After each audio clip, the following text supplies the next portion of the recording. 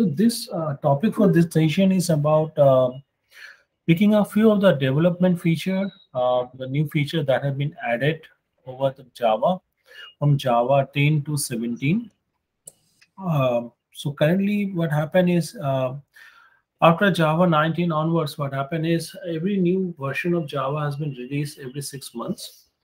So one release get released on the month of September and the next release comes in the month of March. So we can expect the next version of Java, this is Java 18, to be coming up uh, in the month of March this year. And here we're going to uh, look into not every and each feature of Java. Rather than we're going to focus on features uh, which are related to the language changes. Apart from that, there are lots of other features have been added like uh, API changes, internal JDK, GC or garbage collection changes, uh, library deprecation. Along with that, there are changes happen uh, uh, which are maybe not be directly impacting the developer, but it's uh, always uh, impact that what are the APIs are available. And here we are not including the features that have been added as the Java 9. The Java 9 itself is a bigger changes after the Java 8. Uh, and then we have like a separate session for Java 9 uh, with Java 9 uh, new features along with the modularity, the key feature that is added over Java 9. So today's uh, topic or agenda is focusing on the top six features uh, that have been added over Java 10 to Java 17. Uh, those are basically uh, depend on local variable. We generally have a local variable we can define which is uh, within a certain scope. And in Java already the type inference has been added. That is in generics we used to have a type inference like if we can have uh, what is the type based on the wildcard character that type inference was there and obviously there is another feature is which is known as pattern matching uh, so normally what happen if we have like a base class we look into the instance of operator and then we have to do uh, a casting and then we can use that particular object so that pattern matching has been added to the instance of keyword that you can use switch is a age old statement that we had in Java previously. Now switch has been converted into a switch expression. Uh, text block is a feature that you find in many languages where you can have like a multi-line formatted text, which was missing in Java. Now it's been added to the Java. Records and sealed classes. Uh, records are basically, we can say it's a immutable class, but it is not a simple POJO. It has some restrictions. Uh, it is a final class also. So you cannot inherit that further. Sealed class is uh, talking about how we can create a closed hierarchy. So you're going to talk each of the features out here. Apart from that, there are also other features which are JDK related, which maybe uh, we're not going to discuss today, but we may have a future uh, session on other non-language feature. Uh, okay. So if we look into the uh, Java release cycle, as I mentioned, the Java release cycles has been going on every six months. So currently the Java version is 17. And uh, what happened is uh, with every six months, there are some features which have been added to the JDK, uh, which have been over the years has been added. I have listed uh, the important feature I have not included 13, Java 12, but I have included the feature that has been added over the period of time. Out of this list of features, we are only covering the six and shows that whether the particular six has been actually made part of the standard feature. So what happening now nowadays is the Java first of the any new feature that have been released to the developers. First, the feature has been released as a preview feature. So here the syntaxes or the APIs are not final it gives out as a part of a release so that developer can uh, play with that and they can give their feedback based on that it has go through one or two preview cycle or release after that it get become final so for example java 17 has a uh, pattern matching for switch which we are not covering but it's like a preview feature that has been released as a part of java 17 So Java 10 after being Java 9, uh, which having this particular feature and Java 17, we are not covering anything. It has like HTTP client API, uh, some of the Stream API changes. So mostly it is when we have like existing classes. There are some new method has been added. Java 14, we have like a switch expression. Text blocks comes in a 15 and pattern matching. Though it's been there in the past couple of releases, but it has been uh, released as a standard version on 16. So we only cover these uh, six topics out here. So let's talk about what is local variable type inference or the var uh, thing. Normally we know that Java has a uh, keywords, but um, if you introduce a new keyword right now, what problem the user going to face is that there's already that going to break backward compatibility. For example, if I say var is a keyword, if somebody using a var as a variable name, then it become a keyword, his code is not going to be compilable and he cannot update to maybe Java version 10. So that's why these variables are this these are basically not keywords, but they are basically reserved words. Reserved words within a context. So they you can obviously use var still so you can write int var and then i can give 10 or 20 but i can also use var a variable name then assign it to certain values okay so what is var var is basically says that normally how we declare variables first in java i have to give the type i have to give the explicit type then the variable name given is equal to symbol, then an expression, right? What value I have to set into that. Maybe int x is equal to 20, something like that. So instead of doing that, what you say that uh, value of uh, the data type of x can be derived from the expression from the assignment. So if the value is 10, obviously it's a in. So we can infer, the compiler can infer the type of x is basically int. So you don't have to explicitly say that it is a int type. That's where the var comes in. We can use var uh, not only in a local variables, that means within a method, within a uh, function, uh, and also we can use var uh, within uh, for each loops, right? We can also use var within the try with resource statements. And where we define the particular variable, either in the for each loops or try with resource or within the function, that is the scope of the variable. It is not going beyond that particular scope. So let's see some example.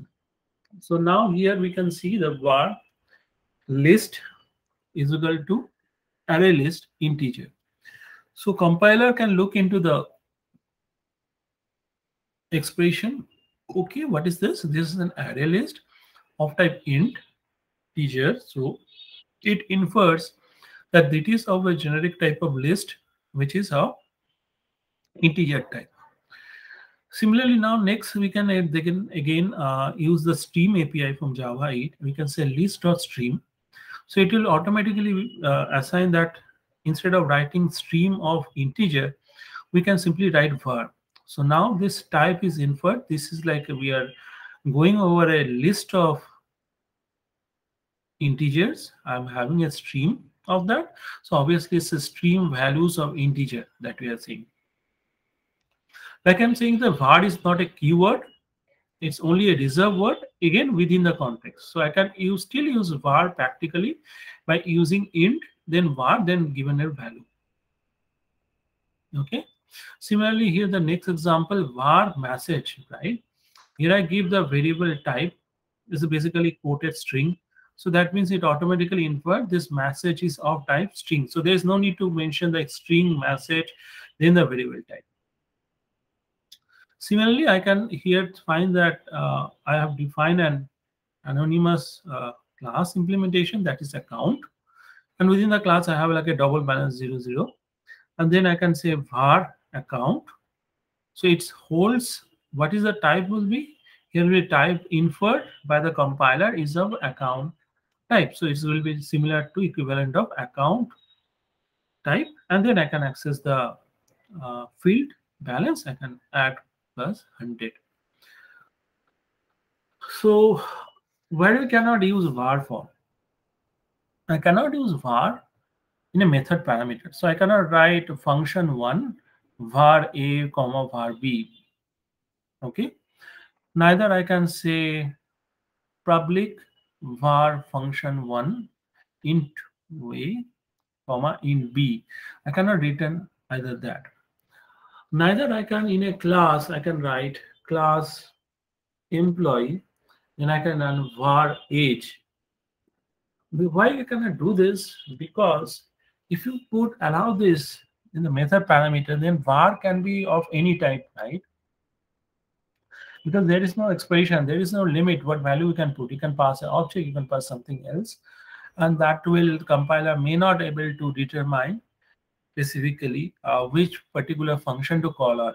You may call this to uh, function with two integer, you may call this to object, you may call this to string, but maybe the function is intended to work with integer. Similarly, when you say return type var, then also it will not work because you don't know what is the exact the return type that is coming up. So you cannot assign the value of that particular function into uh, other cases. Similarly, the same logic applied to a field or the instance variable of a class.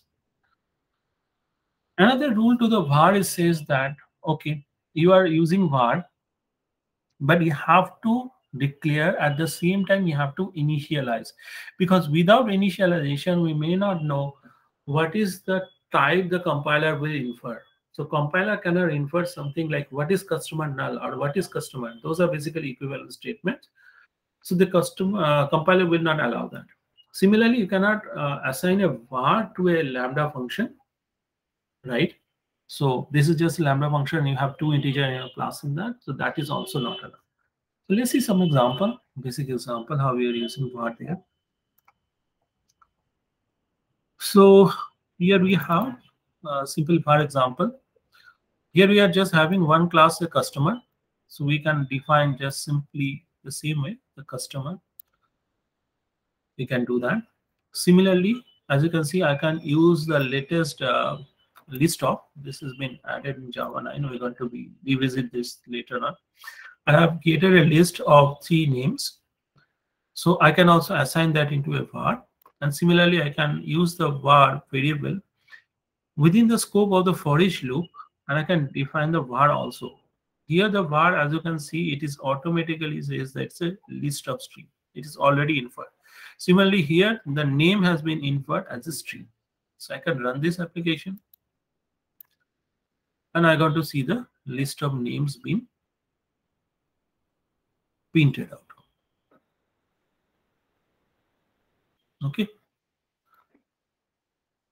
So any question on var before we move to the next feature?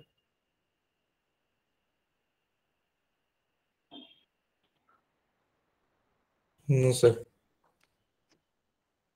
Okay. Okay. So then, uh, when why we need to use var? Uh, what is the benefit of using vars? Here are some other examples, right? Uh, where we cannot or can use the var. Now, var cannot be reassigned to a different type. So, for example, here we have the name. We have given the particular string, and then later on we are assigning the values to a list of names. So already the compiler infer the name to be of type string. So it is similarly say you cannot write string name and then later on you can assign to a list of value. So it will not going to be allow that. And also var means variable you need to always able to change the value. You can always mutate the value of it. So you cannot declare it either also as a final. So let's see this. I'll give you an example. So here we have like a customer, right? You have defined the customer, right? Now, can I assign that customer is equal to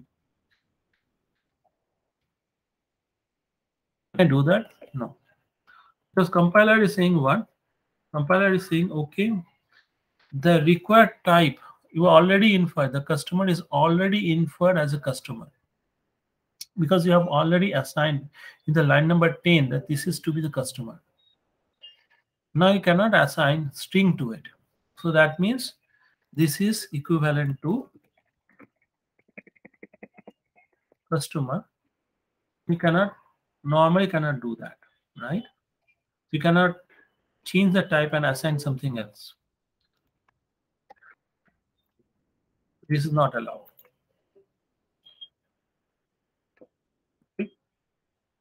Similarly, uh, what other example we have seen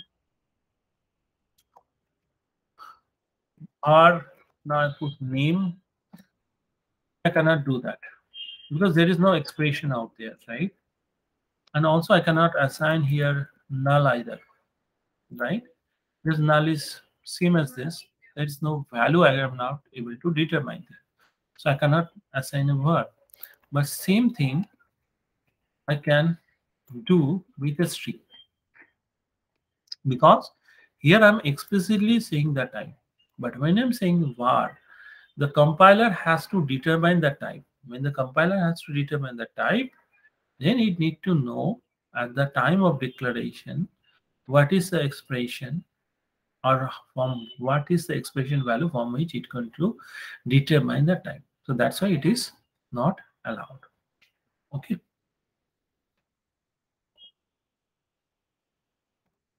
So like we have seen, this is also not allowed.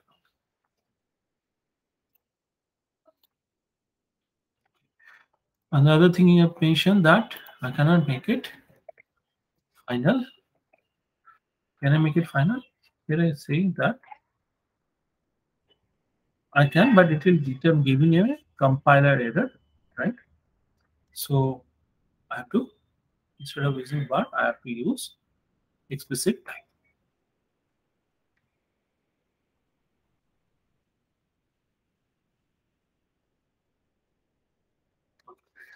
So why are you got to use var?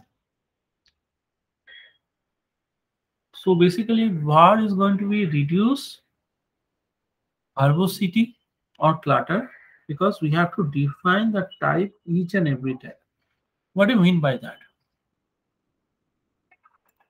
So if I don't use the var, what I have to do here, I have to give list string. And again, I have to give string as well. But then I have to find, okay, what is list string? What is this type is not required because I can get from this on the left hand side. What is this is about? This is a string of name and this is the name. So obviously this is a string. So I don't need to put here um, explicit types, right? I can easily change it to var and that really let me able to focus on what is going on with this piece of code. Okay, so it's better readability uh, and we can, you know, remove the unnecessary type declaration. So those are the benefit of using vars that you can use. Okay. So if you don't have any question, let me move to the next example. So can you anybody tell me what is that uh, instance of operator does? The instance of operator checks uh, means the new instance that is created. Like it checks the instance of like the class, the object, basically. So basically instance of operator as the name suggests is checks whether an object is of uh, instance of a certain class or type. Type. Right? So that means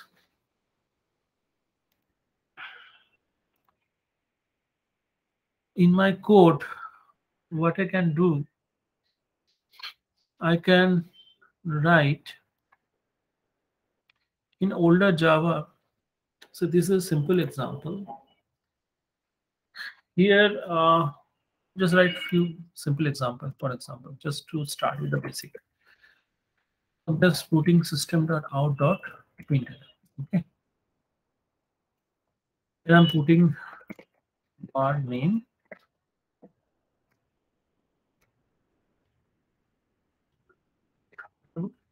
I'm given.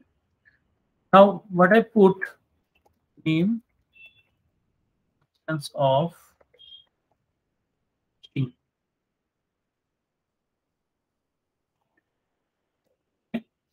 What should be the output of this?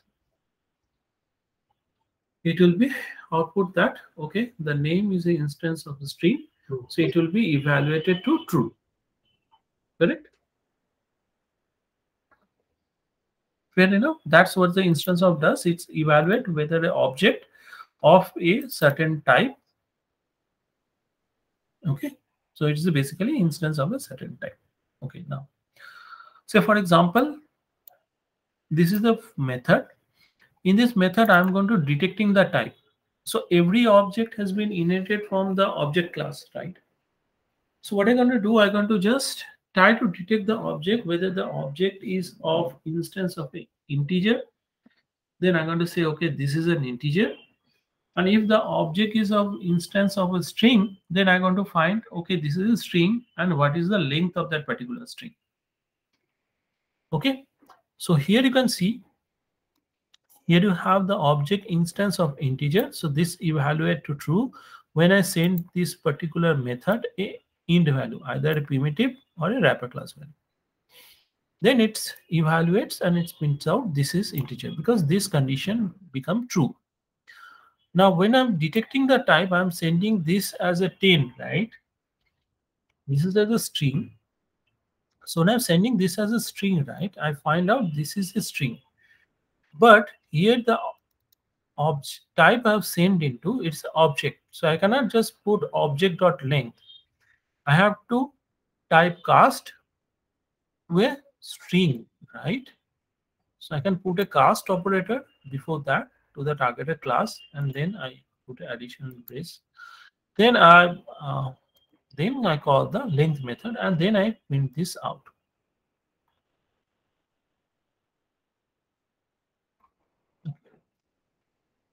That means if I send this kind of a code, if I don't know what is the type, and if I wanted to send a base class and I wanted to have this uh, object has been there and I wanted to perform any kind of operation, I have to typecast to the child class before I can perform the methods or function of the child class, correct?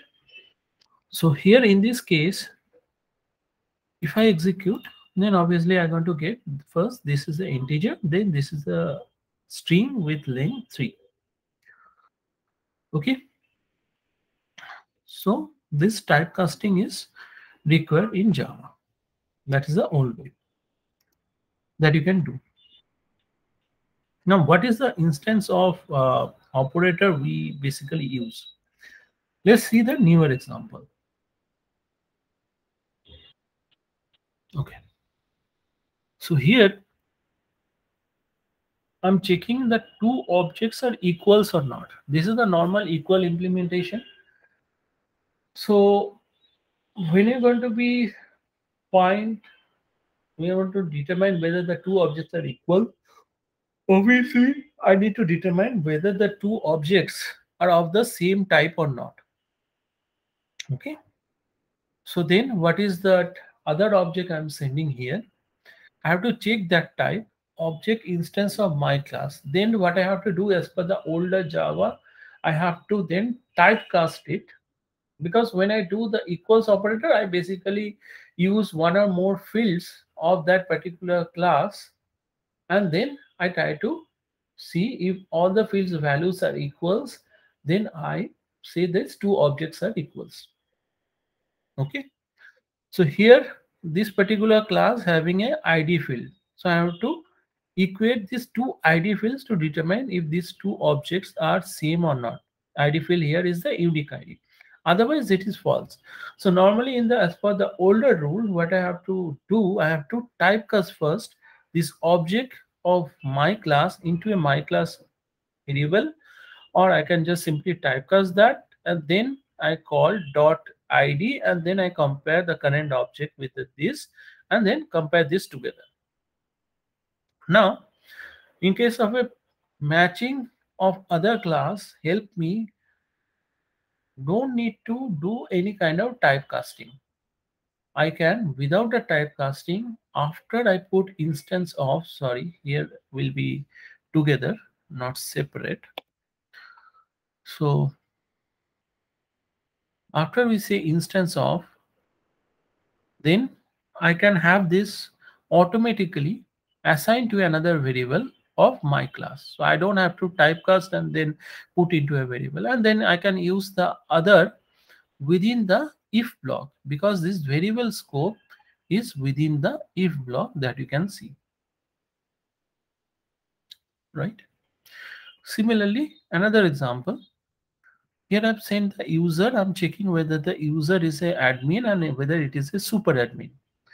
So i'm say u instance of admin then i have this object u automatically cast it into a variable admin and then I put another condition beside that and admin is super. So then it will return if the admin is super it will return true else it will not false. So I can either use this in a if block or I can also use this with a ampersand operator as well. Sir, uh, why do you need to use admin? Admin? Uh, means only admin class uh, type can be used? No. No no. Admin admin admin mean here is a variable. It's a variable. So normally say i'm going to be having a simple class okay okay so here let's see another example so I'm going to determine whether a particular number is odd or even whatever. Um, I'm sending here object. So object is an instance of integer. Then this int variable is basically a variable which holds the value of object. That means it automatically typecast. Okay. So that means if I write this same code in the older version,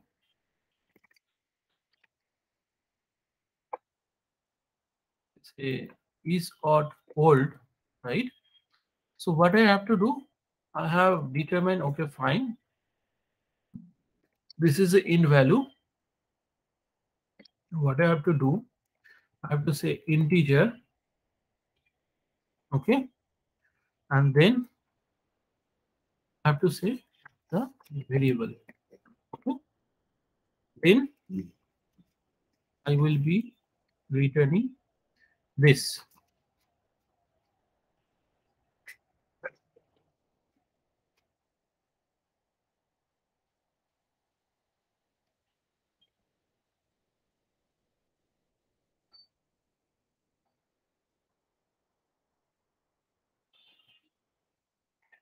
So what is int value here? Int value is oh, it's a variable. Cast to a variable actually. Correct. It's a variable. And here the scope of the variable is what? Within the if block where I'm declaring it. Okay. Because why cannot I do it uh, without typecasting? Because I have seen the object itself. So I cannot perform arithmetic operation on it directly. I have to typecast into a value and then I can perform the operation. But with the pattern matching of instance of what happening is I match it to this, automatically it get typecast into an int value. I can give the variable name whatever. I can mean the variable name int value. I can say it's a value or whatever. So whatever this I name I given, this becomes a val variable which holding the value of the object and also it's been automatically typecast. So I don't have to write anything out here. I don't have to declare the variable, neither I have to do the casting. It is automatically done for me. And then I am able to write this. I can also combine these two conditions here together because this variable is available within a if. So I can combine these two condition together.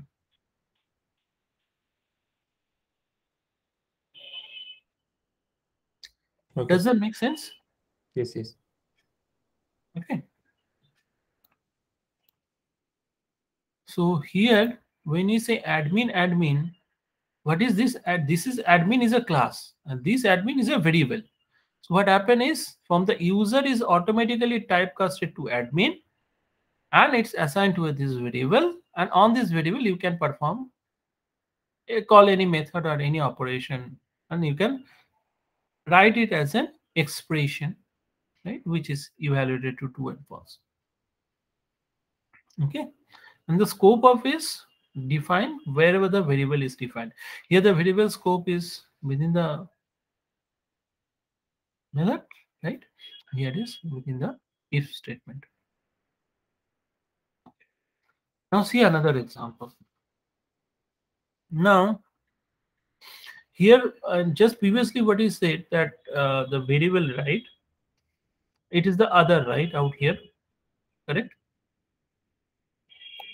Now, here in this example, if you just highlight this.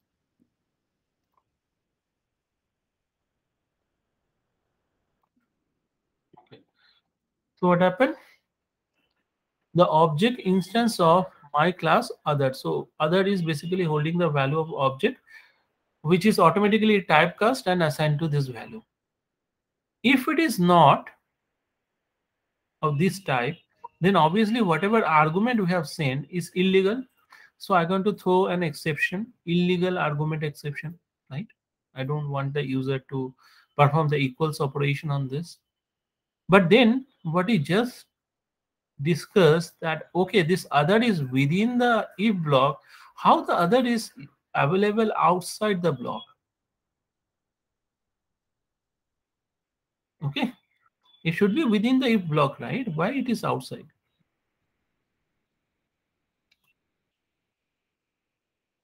It is outside because here you can see it's a negation operation is there. That means if this condition is true, this block will never be executed. Sorry, this operation is, if this operation is true, then this block get executed, okay? But uh, if it is false, then the other will be available outside the block of the code. That's why the other is available outside. Okay. So we have just seen this example that we can have this, uh, combine this with the AND operation. So we can say the string s and we can say that whether the length is uh, greater than 10 or something, correct? Uh, but here uh, we cannot use the OR operator out here. This is not is in, in scope. Uh, can you guys tell me why this is not allowed?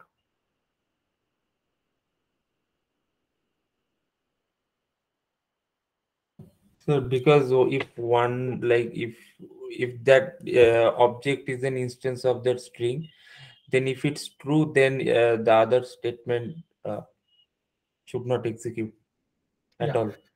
because it is like a short circuit nature of this or, and an or right so when you say and i mean this block is true this block is true so ace is available and ace is available to be used out here correct and if i say it is odd, so that means this block is never true so no value of ace has been assigned so that's why the ace is not available here this is not going to be getting compiled Okay. So Any questions on the pattern matching or the smart uh, instance of operation?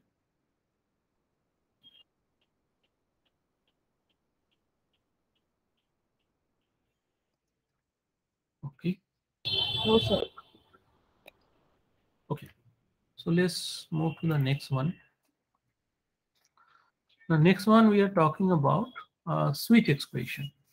Okay. Let's see an example.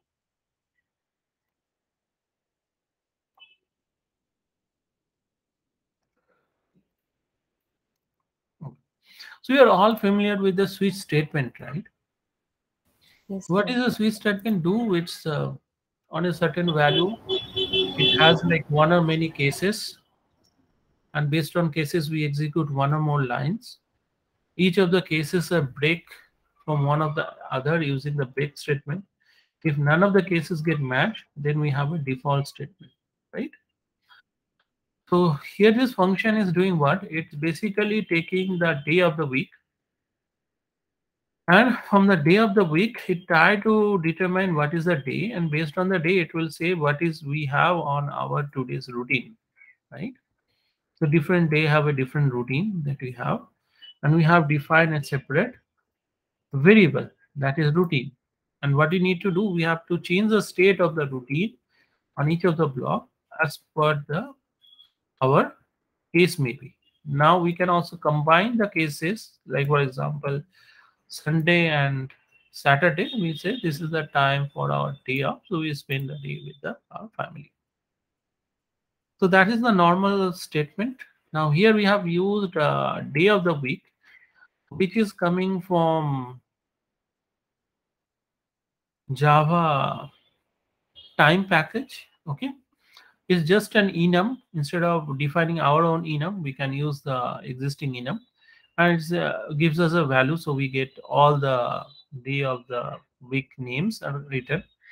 Uh, we use the stream of from this enum value list of values, and then we basically do the for each on it. And from the day of week, we come out and we print out and then we for each print uh, we send the, what is the name of the day and we print out what is the routine for the day and then if we execute this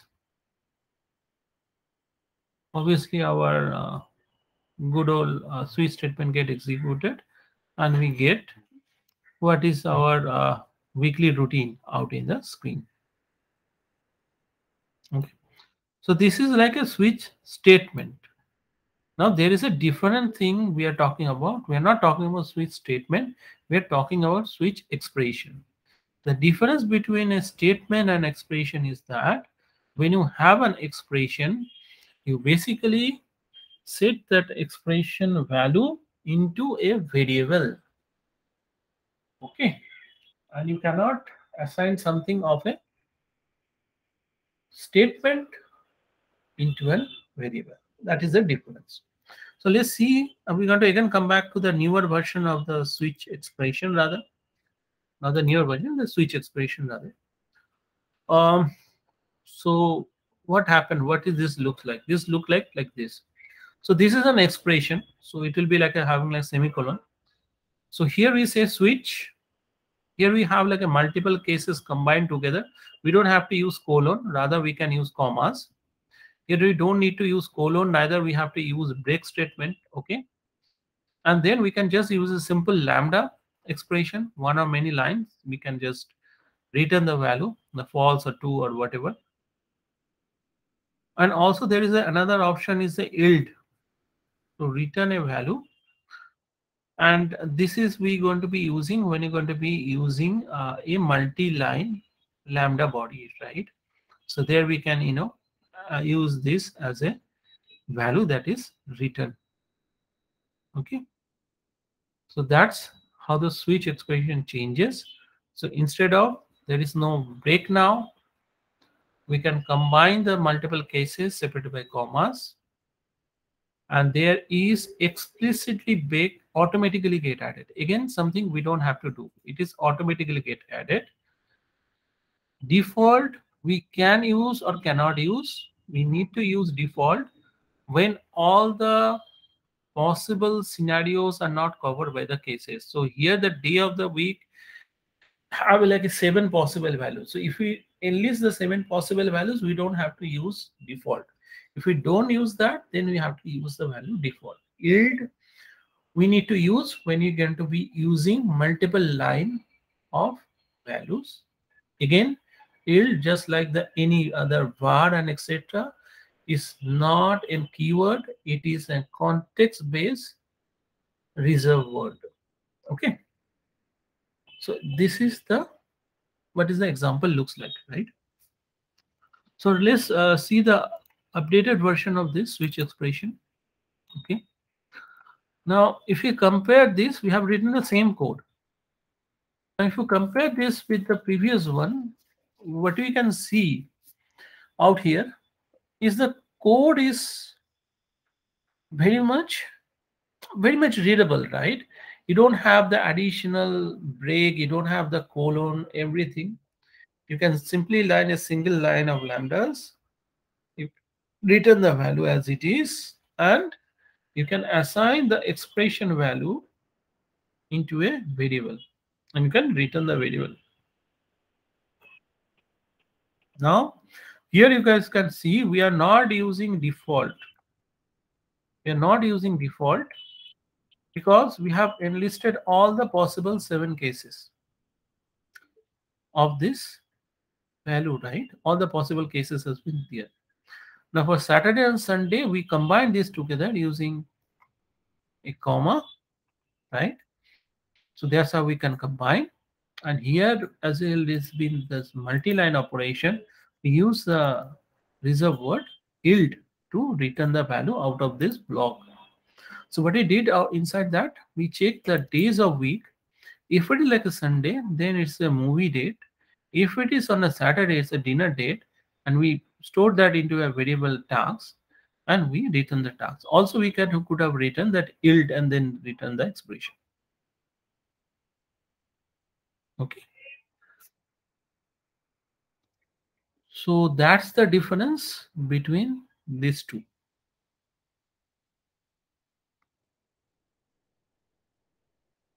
This is the previous one and this is the new one.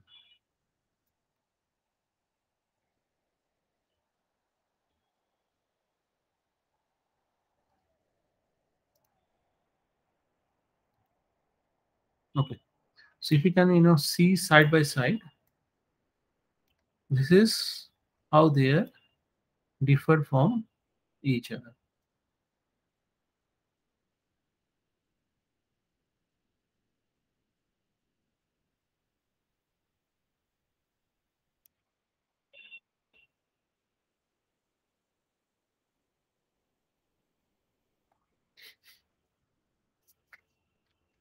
So again, point to remember this is an expression, not a change over the switch statement, and it has a its own syntax to write this. Okay. Any question on switch expression?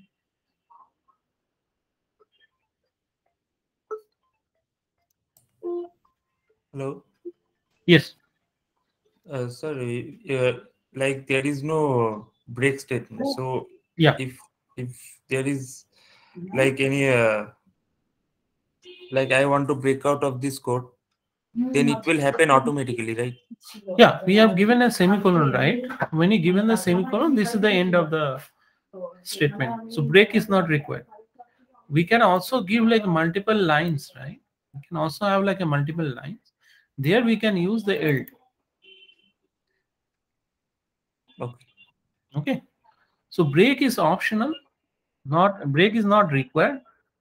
You can write a single line or you can write a multiple line. When you write a multiple line, to return anything out of the block, you use the yield.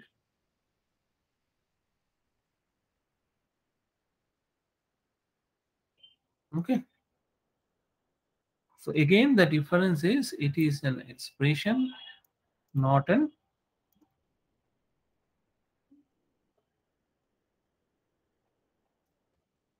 not statement. So you can assign it to uh, value.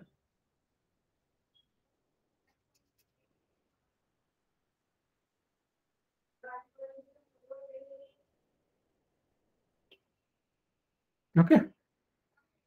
So let's move on. Okay, now, um, so that's switch expression. So another thing is that automatic break, no fall through. So there is no fall through is there. Every statement that you write, right? The fall through means we have forgotten to add the break, right? It will not going to be printing out weekly report. It will always say weekly connect. Correct? So no fall through. Okay. Next, enforce this is is totally enforced by the compiler. Multiple cases we have seen we can combine and multiple matches also possible. Lambda for your cases. Okay. Now let's see uh text block. So just to just reiterate the last two points multiple cases are combined separated by comma enforced by the compiler default is not required because we have mentioned all the cases. If we don't mention any case, then it will say that we require default.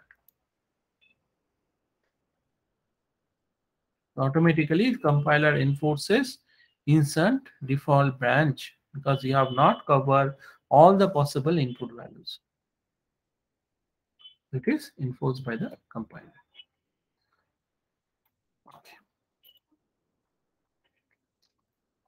Now, text block. What is text block? Normally in Java, right, when you're going to be write any kind of text, we cannot write multiple line text. That is not possible. Okay. Similar example is that if I wanted to represent a JSON or a SQL statement which span multiple line, then I have to give an escape and they are not very readable. Okay. So let's see that particular example.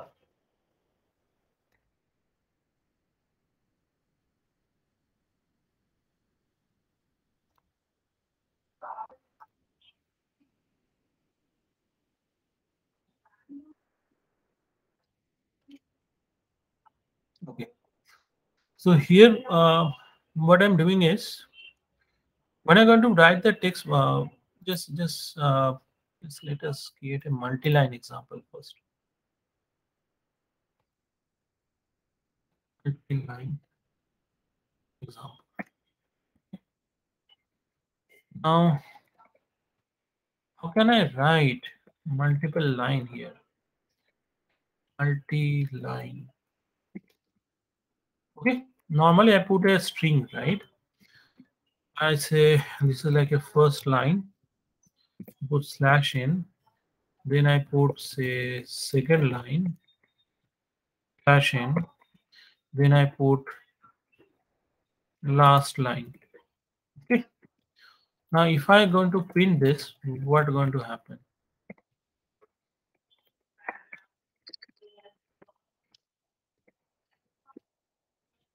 Okay, let's write this.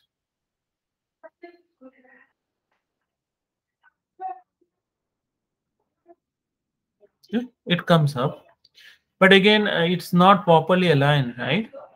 So for alignment, what I have to do, I have to maybe change the space out here, change the space out here, and then execute again.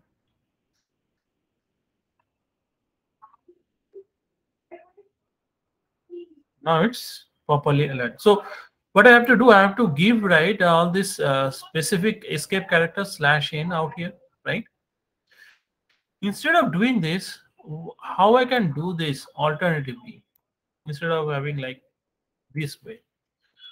So what I can do, I can put three spaces. Okay. And automatically have the margin is defined by our ID. Okay. So now it is very much readable for me than the previous example that you have seen. Now if I execute this,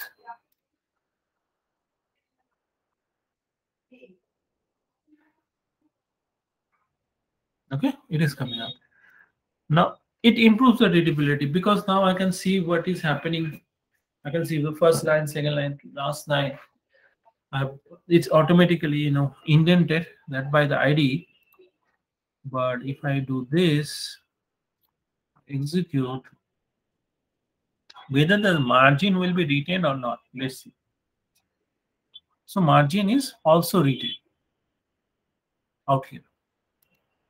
Okay. So that is known as a text block. you have to use the three ports. Now it is very helpful to represent JSON SQL statement. There is some escape character. We are coming to that. So here is an example. Previously, if I need to write a JSON, I have to do. I have to. Uh, generally, JSON has what? JSON has uh, single quotes on on the field.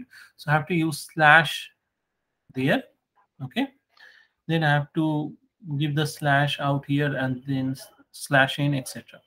So it is not very readable, but the same thing now I can, you know, put very uh, proper way and I can, I don't have to do any kind of escape out here.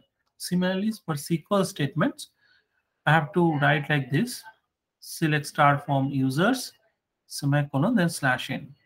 But here I can easily can use this statement where slash is means a space because after star and form you have to give a space and if you want to write it in a new line, you have to give slash, then that comes in a new line statement. So far, you guys are with me? Hello? Yes, sir. Yes, sir. Fine. So let's see an example of this. Okay. So here we have the text block JSON example. Um, so we know that uh, we can use uh, Jackson Mapper, uh, Jackson, which is basically a library. It has an object mapper, so it helps us to do serialization and deserialization. Serialization means that you can convert the Java object into JSON format or any other data format, XML or whatever and deserialization mean from that external data format to Java object format, right?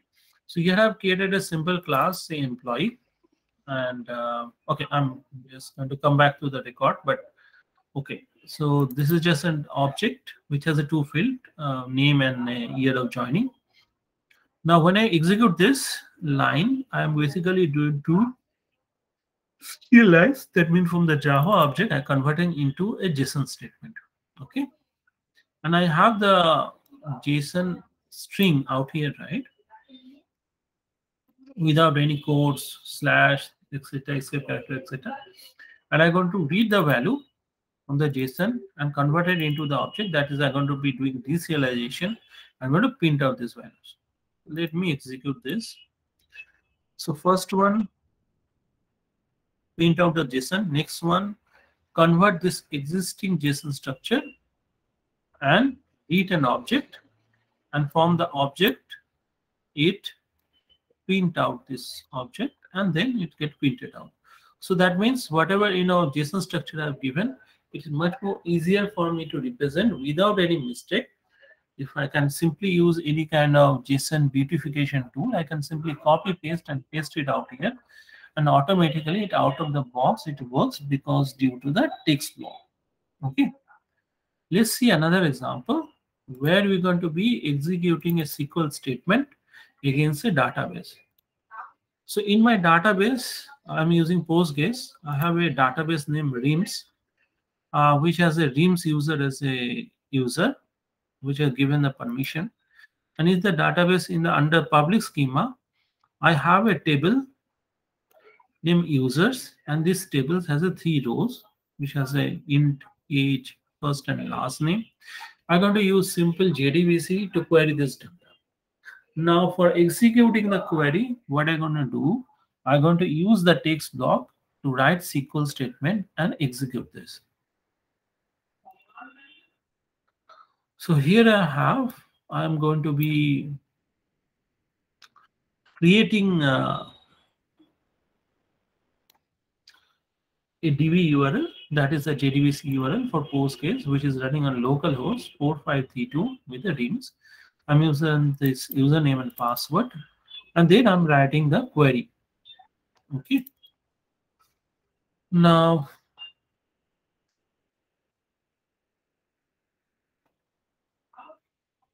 okay. Here I also can use the var in the try resource block right? so it is automatically, I can see it has inferred, the compiler inferred to collection connection statement and result set. And here I'm going to be querying the result set, looping it to get that int string, etc., and print it out. Okay, let me execute that.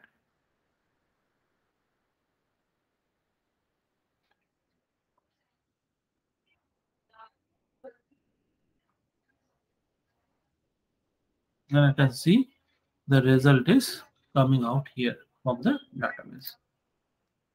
So here I'm using the text block and you can see that it is been properly margined. Here I'm using slashes. Here we are using two specific SQL uh, escape character. One is slash s, that is a space, right?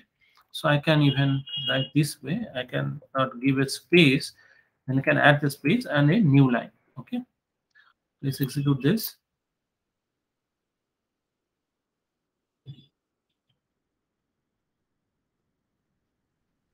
Okay, so it's a valid SQL statement, and we can define this valid SQL statement using text block.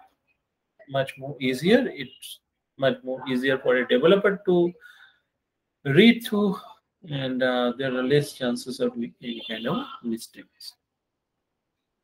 Okay. Uh, this brings down to our last two topic. One is record, one is sealed classes. Okay, let's go. Any question on the text blocks?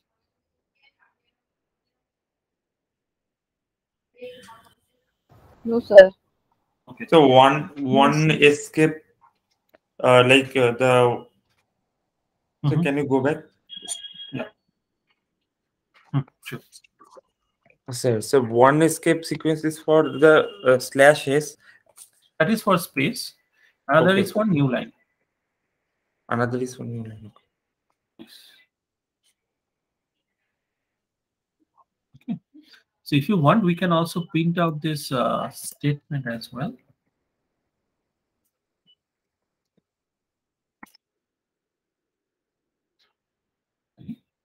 Okay. Execute this.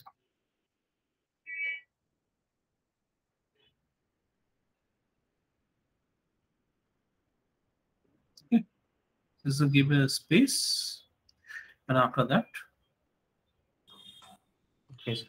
that is the next statement. Now, let's move to the next topic that is known as a record. So normally in Java, what we need to do is uh, we need to create a data class, right? Data class means the class is only to hold the data or record of some field of attributes, field values rather. Okay.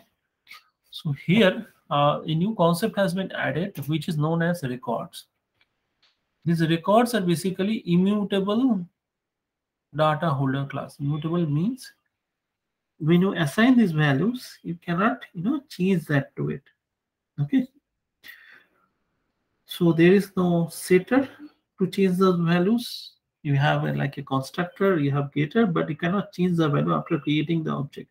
That's why it is known as immutable class. And it holds the data. So it's a kind of an example of type tuple. For example, we have uh, like pair class that we wanted to represent. Okay. So when you use records, what happened is compiler automatically added constructor for us. Okay. And it also added getter for us. So we don't have to write much code out here. And also implement equals method, hash code method, toString method. Okay. But let's see an example. Normally, if I wanted to define a kind of a Java class, right? I have to define all of this. If I want to, I can define all of this. So what is I have to do?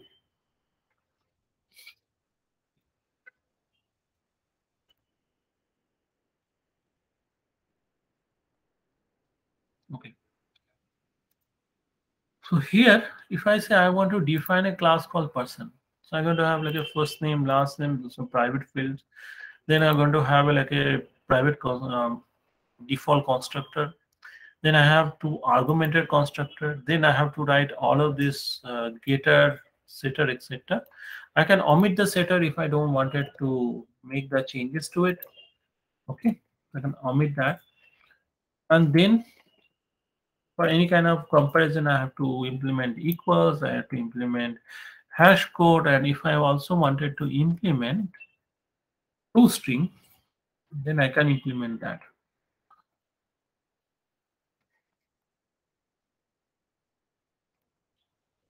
Okay. But here you can say, okay, I have an IDE. So what I have to need to do all of that. I can depend on my IDE, whichever IDE I can use either Eclipse, IntelliJ, whatever. It's going to be creating all of that. But again, these are again some boilerplate code. I don't have to write all of this, right? All I'm just holding is I'm holding two values in a class, the class objects, and is there any way I don't have to write all of that? Either I'm writing or I'm generating, auto-generating from the IDE.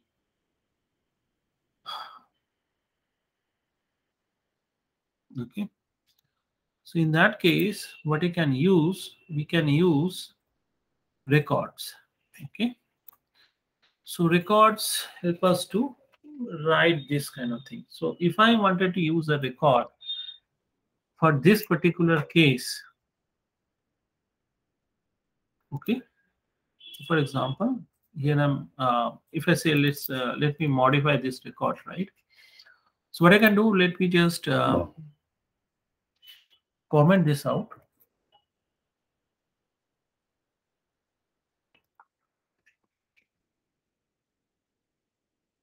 I'm just simply going to write record person. I'm going to take two things. First name, last name. And there's nothing more to it.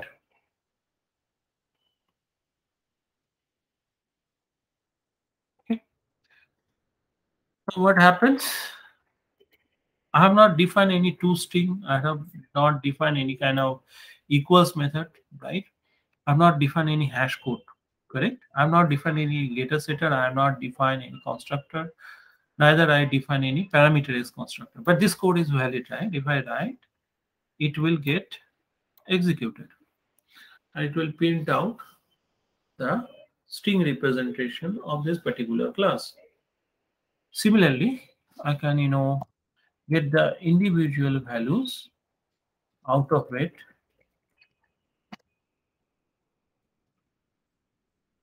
Last name. So here is, do remember there is no getter get as such, is rather the field name, last name. So I can also pin that. So getters are added. toString has been added. Similarly, let me see if there are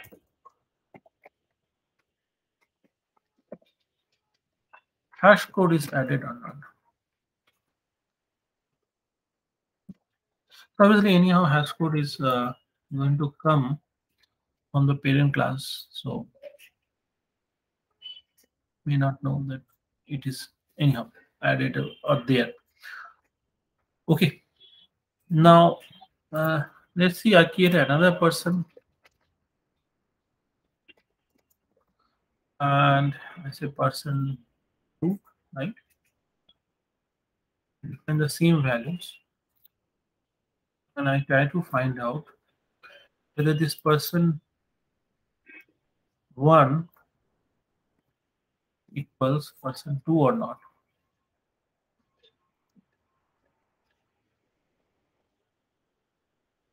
Because normally the equals operation of the object class is depending on the hash code and it is not depending on the fields. Here the fields are matching, that's why it's become equal. So that means the class specific implementation has been implemented out here.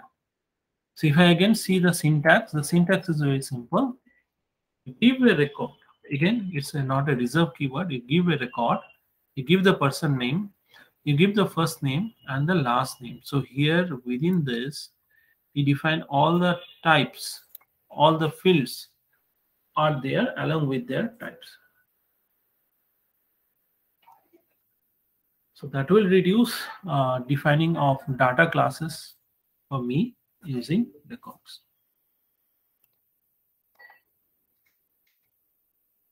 Okay. Now records having all of this giving to you, but can you customize the record? Yes, you can. You can have your own constructor. You can override the in default implementation they have given for equals hash code and toString. You can add method which is static. So again, the example is given here. It is record the class name followed by whatever you know field type you want to have and how many fields you want to have within that particular class. And you don't have to by default provide any body to it, but you can always customize this if you want to adding constructors, adding static methods, or overriding equals hash code or toString. Here is an example what you can override. So first one is that here you have like a, uh, sorry, this is like a custom constructor.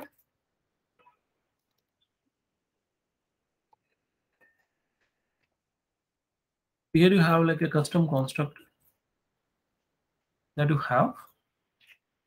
And you can always have a new option that is known as compact constructor. As you have already defined here, you don't have to define any kind of uh, default constructor of value, or you can just simply have override the default, uh, you know, the two fields or the all the field base all argument constructor you can override and there you can write your own implementation if you want to. You can also add your own static uh, values or static methods similarly you can have additional custom methods as well like here we are getting average value but you cannot hide getter so you cannot override getters right so here getter means mean and max. You cannot override them.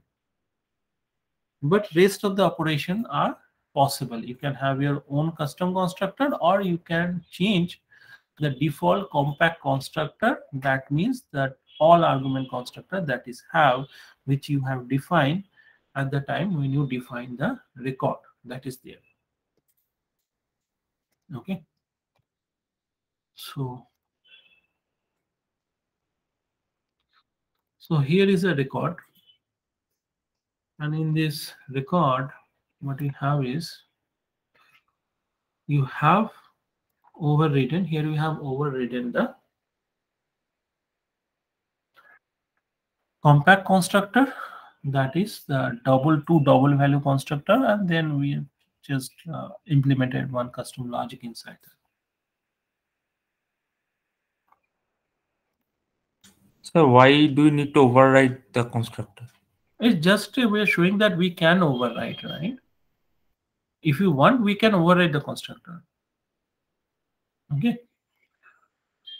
So if you have any kind of business need to override, you can override that. That's all I'm saying.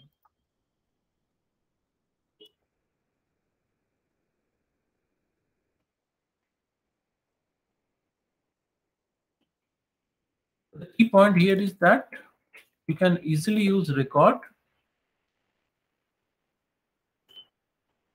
in your case and you can print out those values if you want to and if you want to override you can override their compact constructor. That is all the field that you have defined. You can give your own custom constructor with a different argument list. You can override equals hash code and then you can override your toString methods.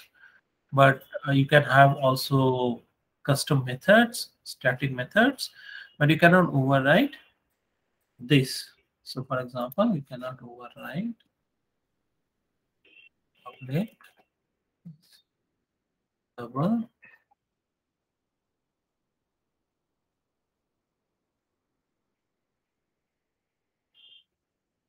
That you can override if you want to. So that is also there okay. Another option that we have is temporary or the local record class. So what you can do, you can override your local classes. You can have these record classes outside classes, or you can have them within the function. So here you are going to have a method where you are trying to find out what is the oldest family member of your family. Here you are sending stream of persons and then within the stream of persons you are having like record. Pwd as a class which taking a person and his family member. So it's a local record class. Its scope is within the function. Then from the stream you are doing the flat map and you getting the p dot family which is itself is a stream.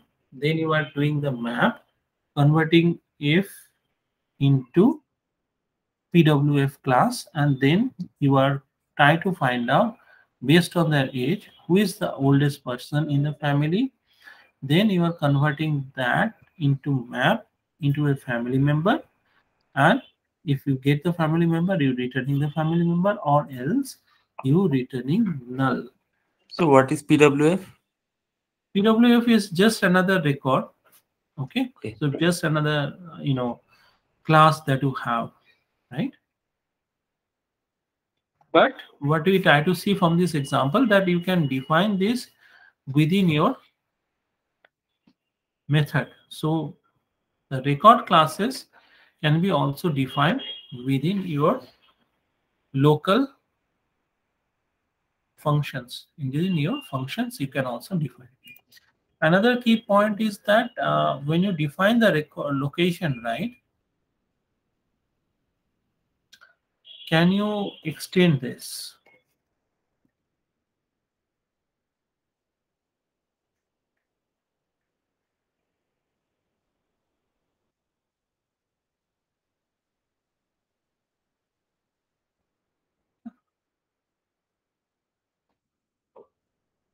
Let me give that. But you saying that by default records are final okay? So you cannot inherit from the record. So record is a final class. So we can say it is nothing but a final class. Um, obviously here uh, the sync so it is we can say it is equivalent of a final class that's why you cannot extend it further.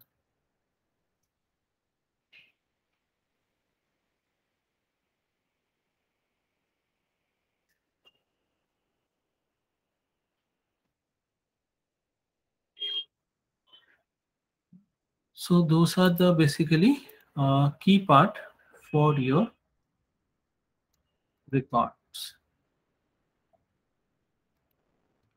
now the last portion is the sealed classes um, so normally when we define class hierarchy we have a, like a parent class then we have a, like a child class right and either option is that you can make your class as an abstract class so when you make your class abstract class, you have to you can inherit that into one or more child classes.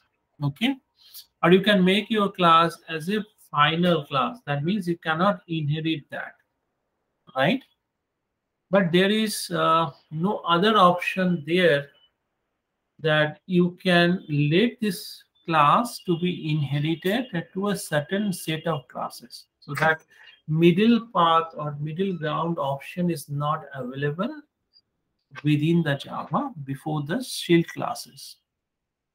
So that means when you have the abstract class or interface, the thing is that it is always can be open to inheritance.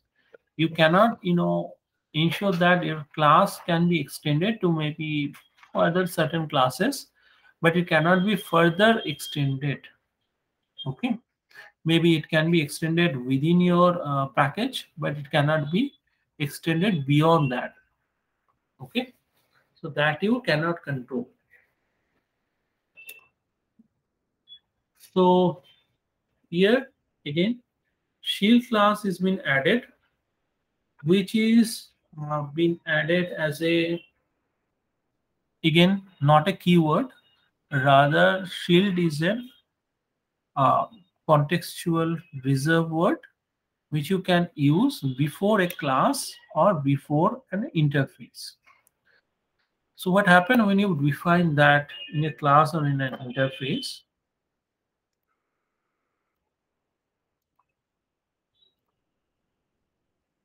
Okay.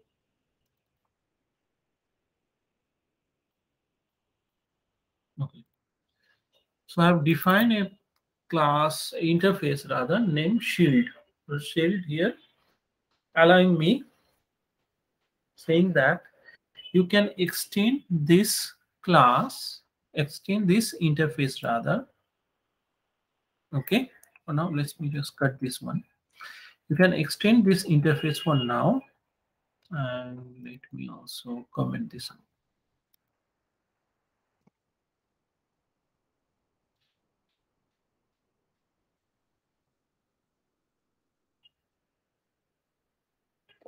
Okay. I'm saying that I have shape. Shape is a sealed interface. So it can be further extended. Okay. Fine. So when I can extend, so obviously I can extend this uh, into this file. So when I extend this, can I make them as a non-final or not? So let's just go step by step. Okay. It says that it's a sealed class and when you're going to be extending further, the class that you have mentioned,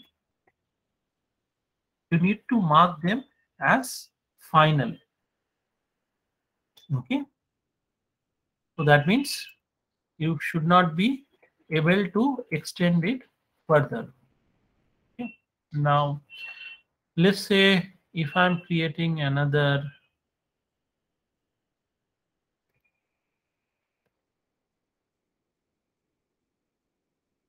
okay instead of defining out here. I'm taking this out and placed in a, another class. But the next rule it's saying okay you have marked this as a sealed. So whoever going to be extending this this interface or into a class or whatever they need to be final. Okay i make it final but i moved into a separate class. Means source file. So that is not allowed. So you have to place it within the same class. Okay. So that means you can have this as a final, this as a final, etc.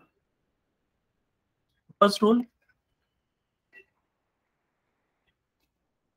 when you make it sealed either interface okay i have given this as an interface. What i change this to a class? I change it to a class. And obviously i have to use extend keyword right? So that means it can be either an interface or it can be either a class which is sealed but it can be extended to the next level. But when you extend to the next level it need to be final. So they are basically closed for inheritance downward, right? Okay, fair enough. Now, if I'm say I wanted to define this into a separate source file, okay, then I have to use the keyword permits. So permit says, okay, you can extend this, but in a different class. But tell me, what are the list of classes this class or interface are going to be extending further. So you give me the list of permitted classes in which I can extend this further. So then in that case, what I can do, I can, you know, take these classes, I can cut it off and then I can put them classes under here. then let me allows to extend this or define those permitted classes into a separate file. Okay. So that you can do, that I can do out here. That I have done. Okay, now the second rule, that this up to, let's just clear out this. So what is saying? What is the do and don't with that? You can extend this into a final class or you can again further extend it into another sealed class, right? So can I make one of these as a sealed one? What is saying? Sealed class must have a subclass. Okay, so let's not do right here. Let's just add another one. So when you're saying that, okay, you may be sealed, whenever you have a, like a sealed class that you define, you have to give it at least one or more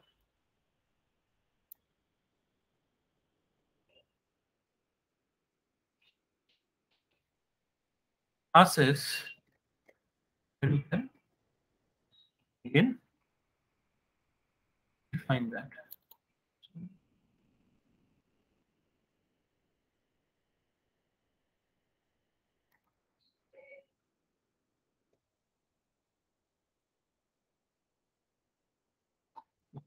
yeah so again you can have it. Now again so uh, okay i've added to the particular shape list. I added another class. So this class i can extend it further. I can extend it into a different source file. But can i make it sealed? Okay i can make it final obviously. Can i make it sealed? That means i can allow it to be extended further provided the next set of classes are extendable okay and they are final also so I can define a sealed, but then it want to say, okay, you say this is like a sealed, right? Then at least let us know what are the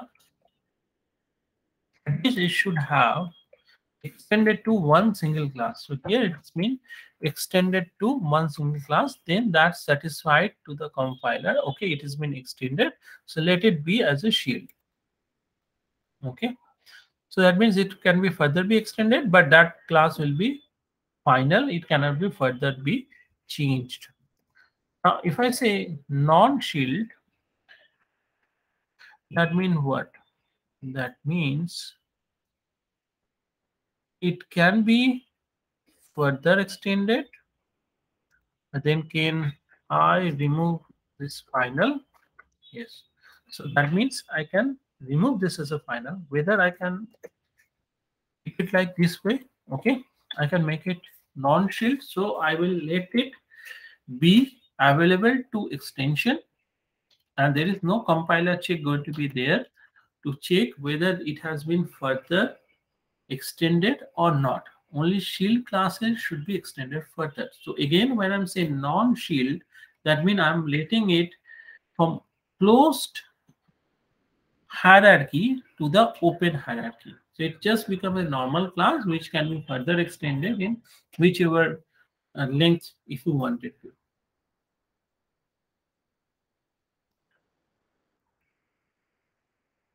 Okay. So that being done. So what is permit lets? We already seen that permit let us to define multiple source files. You can have like one class in one source file and the other uh, final classes into other source files, right?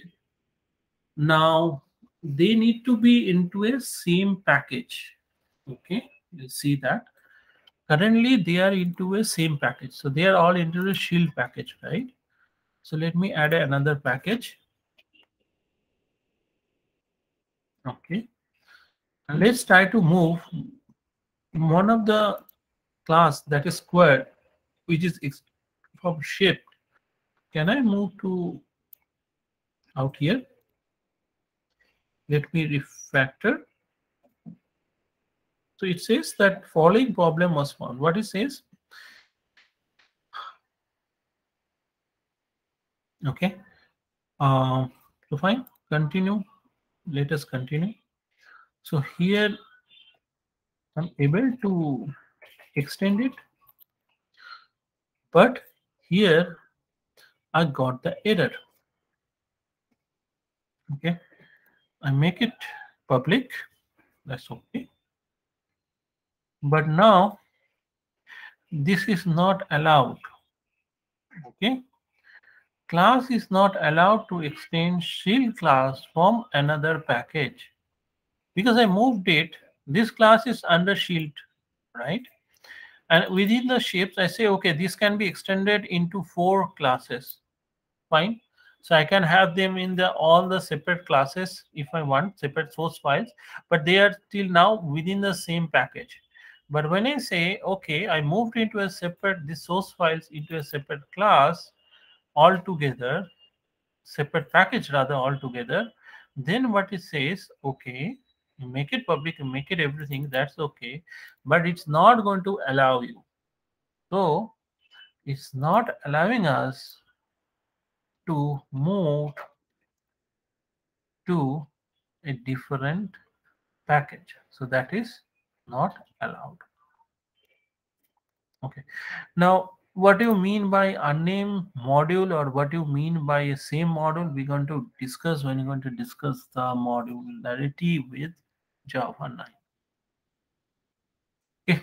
So these are the example.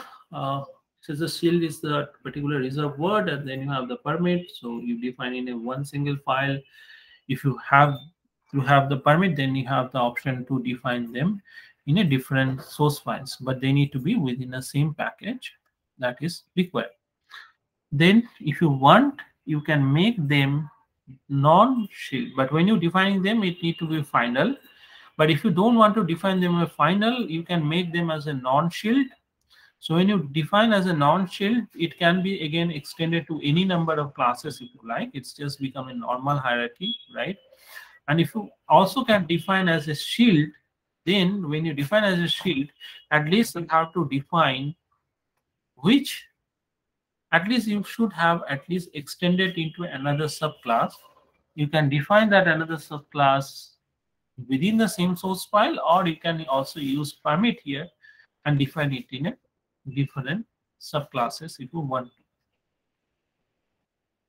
okay. Another is that how the sealed classes are different from enum. So enum is what you have a limited number of instances right they are basically same implementation object of same classes different values and limited number of instances that is there. Sealed class is that you have a, like a different implementation. Okay, so sealed class is used to uh, define known set of domains. So when you know beforehand, like what is your child classes will be, then you can use the permit keyword and then you can restrict this to the list of known domains. But if you don't know, then you better use non-sealed or normal classes in your cases. Uh, this we have seen uh, sealed classes also can be used with record because why? Because records are also final class. So you can use the same thing with sealed classes as well. So here the shape has been extended into rectangle and triangle circle and then you are defining as a record so that is allowed because records are by default final class. Uh, so benefit is if you are doing anything automatically compiler do do the check. It is better for known domain or limited domain of subclass modeling. It allows you to do close uh, hierarchy modeling. So you have a control like which are the classes you can uh, let it be further extended and in future maybe we can get pattern matching on the sealed classes in future Java releases. So any other questions you guys have of all the topic that we have so far?